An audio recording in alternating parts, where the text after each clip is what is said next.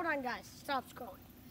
Um, uh, please listen to this. So, um, um, COVID cases are rapidly going up. At least 100,000 cases every day. So please wear your mask and stay six feet apart. I just wanted to tell you this to influence this COVID thing because it's really bad. It's getting bad. So hopefully wear your mask and stay six feet. So, um.